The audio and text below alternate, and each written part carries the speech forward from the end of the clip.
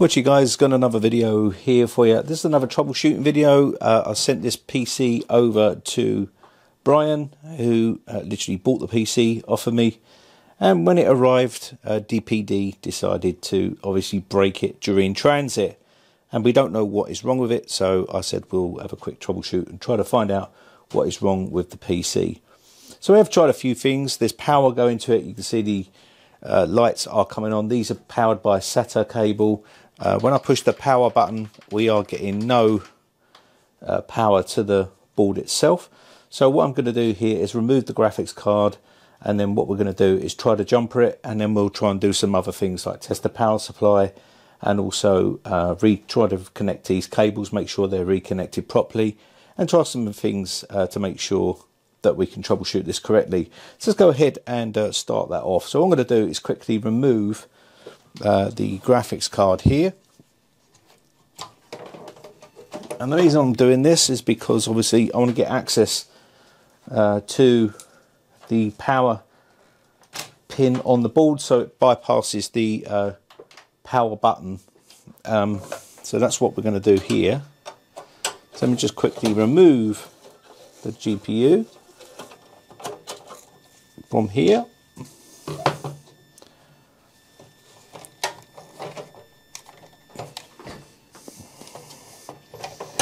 There we go, that's out.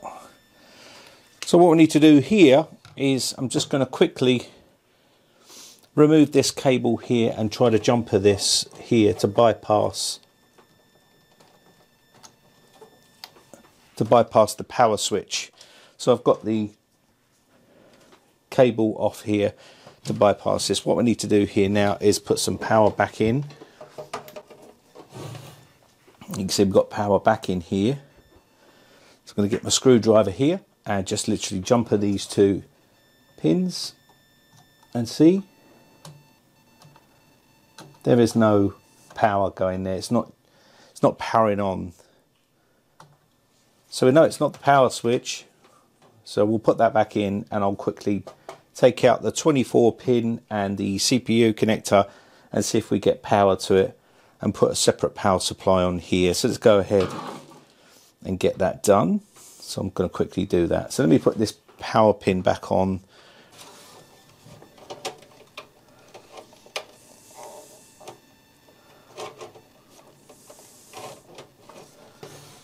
Okay, that's now back on. So we've still got no power here. So what I'm going to do next is um, I'm just going to quickly take out this 24 pin here. And we've got that out. I'm going to take out the CPU connector here and we'll put another power supply in just to see whether we get power. Now these power supply testers are not great, but it is a quick way to quickly test to see whether we are getting any sort of power issue here. So we can quickly power this into here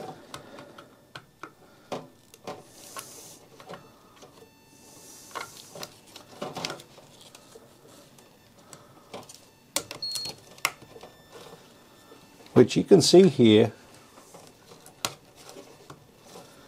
we are getting fans spinning here. And the power supply is showing power. So it's more likely not a power supply issue but we'll try it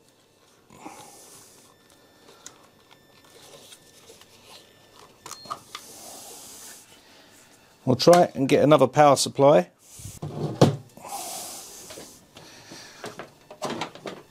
take the power out.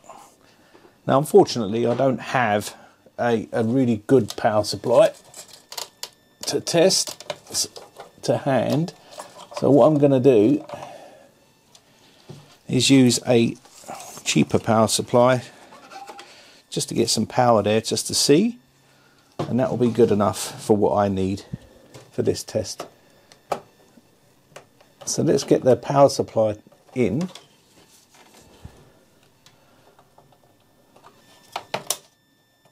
Okay, so we're there. We've got the 24 pin in. going to add some power to this power supply that we got on the back here. Just going to add this in.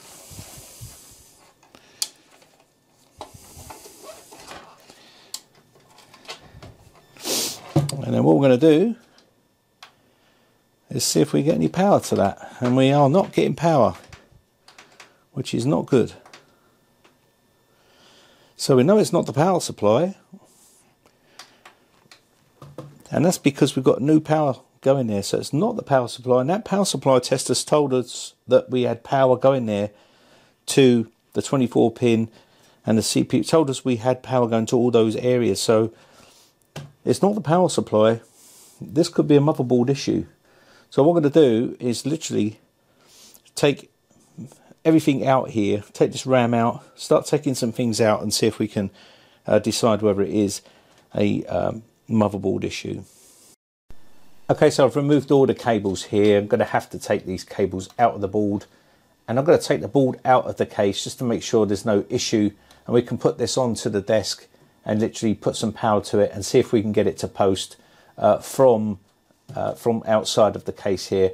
It just bypasses all the things that are plugged into it to make sure there's no issues with those and this will just go back to a bare bones system where we've just got a board memory uh, drive chip and stuff like that to make sure everything's working all quite okay. And if it doesn't work from there, then we can sort of basically get down to the nitty gritty, which is more likely going to be either a CPU or motherboard issue. More than likely, it's going to be a motherboard issue, and maybe this got broken in transit. So what I'm going to do is get this unscrewed here and get it out onto the bench. So let me go ahead and get all these unscrewed here, and uh, we can continue. Okay, so I've got the uh, motherboard out, and I've just put the power supply, which I had lying around here. I've just got the CPU one in, into the board, and I've got the 24 pin into the board here. And uh, what I'm going to do here is jumper this down here to make sure it boots and powers on. And if it powers on and we see the fan spin up on the CPU, then we know there's some sort of issue inside here, whether the fans or whatever it was that was causing that, uh, because it's now out of the uh, case. So I'm going to go ahead and do that right now. So as you can see, we've got some power going to here, and if I try to jump on these two pins here, we are not getting any power going through or any LED light here or fan spinning at all here. And there is power going to this because it's uh, going to the board here uh, via the power supply here. So there is something definitely wrong with this board and the board is packed up somewhere along the line being delivered. It's been broken and now we need to replace the board. So that's what we're going to be doing replacing this board here. Now I haven't got the graphics card uh, plugged in here. I'm just seeing if we can get the fan to spin on the CPU but it's not. And uh, it's completely dead. And uh, there is no power going to it. So it looks like we're going to have to replace this here. Uh, and the power is going here as you can see. If I plug in here you'll see there will be power going to this. There we go. So there is power, it's just not powering the board. So the board is dead and we need to replace it. Now, of course, there's a chance that it could be uh, the uh, CPU. And, you know, there is always that chance, but it's very unlikely going to be the CPU. Uh, so what I'm going to do here is literally, like I said, we're just going to replace the board. That's probably going to be the easiest route here uh, to try to fix and resolve this problem. So that is basically how you can quickly troubleshoot a dead brand new computer or a computer not uh, turning on properly uh, when you first built it. Yes, we can take this off here. I can check the CPU by putting my hands onto the CPU and see whether the CPU actually gets warm. And in this case, it's probably going to be cold because there's no power getting to the board because the board is dead. And that's basically it. So it's just a simple case of um, getting another board and replacing it. How it died in transit, I really don't know. Maybe dropping it, they dropped the parcel or something and it shocked the board. Uh, and maybe that is the case. I don't like this plastic clip here that holds this thing in. It just flops about, as you can see here. It's really, really not a very secure way of securing this drive here. It keeps flopping about. So I don't like that mechanism there at all. But anyway, I think that's going to be about it for this video. So I hope this one's been useful to you. My name has been Brian from briteccomputers.co.uk. Big shout out to all my YouTube members who have joined my YouTube members group. I really do appreciate the support and I shall see you again for another video real soon. Bye for now.